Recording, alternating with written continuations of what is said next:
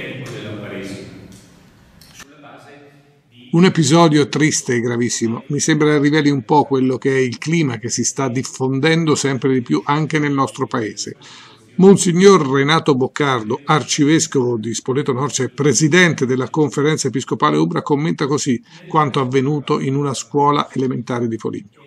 Per il presule è vero che c'è un crescendo preoccupante di episodi, chiamiamoli razzisti, ha detto, che ci fanno temere per la convivenza civile del nostro paese, un clima di diffidenza e opposizione, ha aggiunto, riguardo alle differenze. Pensiamo alla tragedia dei migranti che diventa un po' emblematica di tutto il resto.